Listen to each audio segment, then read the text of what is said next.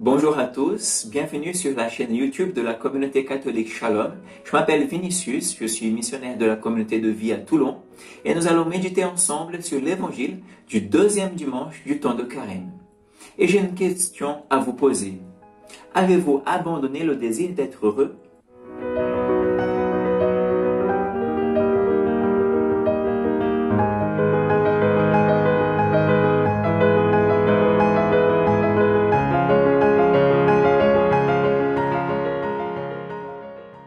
Dans l'évangile d'aujourd'hui, nous voyons le récit de la transfiguration selon Saint Luc. Alors Jésus invite trois de ses disciples, donc Pierre, Jacques et Jean, à monter sur une montagne pour prier. Et pendant que Jésus prie, il y a quelque chose d'extraordinaire qui se passe. Alors euh, son visage euh, change et euh, ses vêtements prennent une, une blancheur fulgurante. C'est comme ça que nous parlent euh, les Saintes Écritures. Et donc les disciples, en contemplant cela, ils sont complètement euh, émerveillés de ce qui se passe. Et euh, c'est vraiment la gloire de Dieu qui est manifestée d'une manière jusqu'alors inédite. Ils n'avaient jamais vu cela. Et encore quelque chose d'encore plus étonnant se passe. C'est Moïse et Élie qui apparaissent. Tous les deux parlent du mystère de, de ce que Jésus va vivre c'est-à-dire euh, la passion, la mort et la résurrection. Moïse représente la loi, c'est-à-dire la manière que Dieu a de nous rendre heureux. Il met des balises sur le chemin pour que nous sachions utiliser notre liberté, que nous ne devions pas esclaves. C'est la manière de nous éduquer, la loi.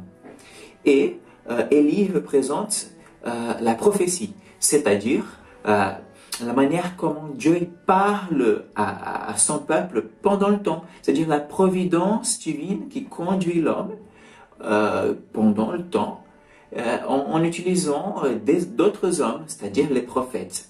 Alors, et la loi et la prophétie trouvent en Jésus et dans le mystère de sa passion, mort et résurrection leur plénitude, trouvent leur sens complet en Jésus et dans son mystère.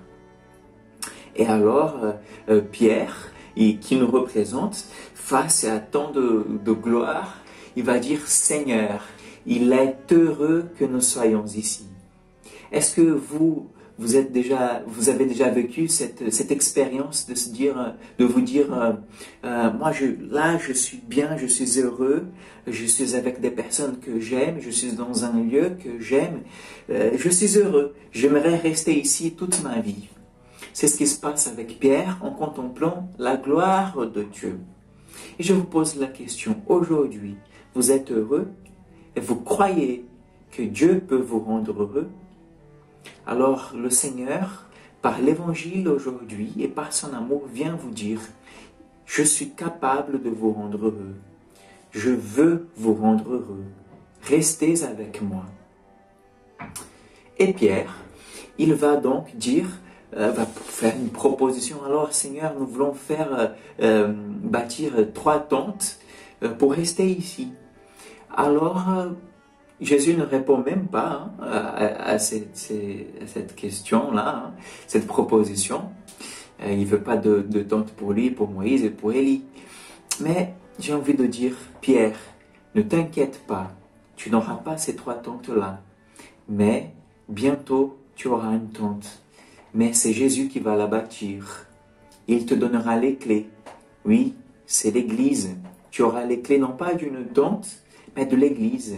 Et c'est dans l'Église que tu vas contempler la gloire du Seigneur jusqu'au moment où il va revenir.